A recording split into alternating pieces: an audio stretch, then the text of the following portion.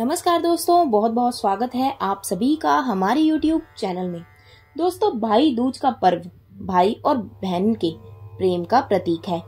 वास्तु शास्त्रों के अनुसार हर साल कार्तिक माह के शुक्ल पक्ष की द्वितीय तिथि को भाई दूज का पर्व मनाते हैं। भाई दूज का पर्व दिवाली से दूसरी तिथि को मनाते हैं। ये दिवाली का भाई दूज होता है। भाई दूज को यम द्वितीय भी कहा जाता है। इस दिन भाई अपनी बहन के घर जाता है। वहाँ पर बहन अपने भाई को आदर सत्कार करती है और तिलक लगाती है। उसके बाद भोजन कराकर उसकी खुशहाली के लिए प्रार्थना करती है। बदले में भाई अपनी बहन को उपहार देते हैं। आज की इस वीडियो में जानते हैं कि इस साल कब है। भाई दूज भाई दूज को यम द्वितीया क्यों कहते हैं? भाई दूज पर तिलक लगाने का शुभ मुहूर्त क्या है? और भाई दूज का महत्व क्या है? तो चलिए जानते हैं। नंबर एक 2023 में कब है भाई दूज?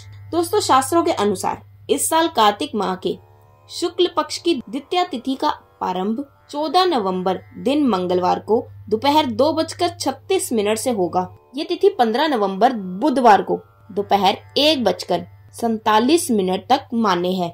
ऐसे में उद्याय तिथि के आधार पर इस साल भाई दूज का पर्व 15 नवंबर बुधवार के दिन मनाया जाएगा। हालाँकि कुछ जगहों पर 14 नवंबर को भाई दूज मनाया जाएगा। नंबर दो भाई दूज 2023 तिलक लगाने का शुभ मुहूर्त क्या है? दोस्तों, जो बहनें 14 नवंबर को भाई दूज मनाएँगी, वह दोपहर को एक बजकर दस मिनट से लेकर तीन बजकर उन्नीस मिनट के बीच में भाई को तिलक लगा सकती हैं। हालाँकि 15 नवंबर को भाई दूज के तिलक लगाने का शुभ मुहूर्त सुबह दस बजकर चालीस मिनट से दोपहर बारह बजे तक है। नंबर तीन भाई दूज को क्यों कहते हैं यम दोस्तों भाई दूज को यम भी कहते हैं। पौराणिक कथाओं के अनुसार मृत्यु के देवता यमराज कार्तिक शुक्ल द्वितीय तिथि को पहली बार अपनी बहन यमुना के घर आए थे। यमुना ने उनसे कहा था कि सभी भाई अपनी बहन के घर आते हैं और आप कभी नहीं आते। तब यमराज दिवाली के बाद की दूसरी तिथि को यमुना के घर गए थे। तब यमुना ने यमराज का सेवा सत्कार किया था। उससे यमराज बहुत प्रसन्न हुए थे। उन्होंने बहन से वरदान मांगने को कहा इस पर यमुना ने कहा कि जो भी भाई कार्तिक शुक्ल द्वितीया को अपनी बहन के घर जाए, उसे यम का भय ना हो।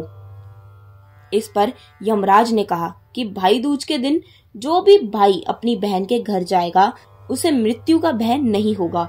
भाई दूज का संबंध यमराज से है, इसलिए इसे यम द्वितीय भी कहा जाता है। नंबर चार भाई दूज का महत्व। दोस्तों रक्षा बंधन के बाद भाई दूज का पर्व बहन और भाई के लिए होता है। धार्मिक मान्यताओं के अनुसार इस पर्व को मनाने से भाई को अकाल मृत्यु के भय से मुक्ति मिल जाती है। बहन अपने भाई के सुख और समृद्धि के लिए कामना करती है। इसलिए भाई दूज का त्योहार मनाया जाता है। तो दोस्तों, ये थी मेरी आज की वीडियो। उम्मीद करती हूँ मेरी ये जानकारी आपको पसंद आई होगी। तो इस वीडियो को लाइक करें, शेयर करें और हमारे चैनल को सब्सक्राइब करना बिल्कुल भी ना भूलें। फिर मिलूँगी एक नई जानकारी के साथ। तब तक के लिए नमस्कार।